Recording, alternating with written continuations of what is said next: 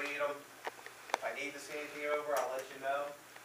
And then a week from now, we start promoting, okay?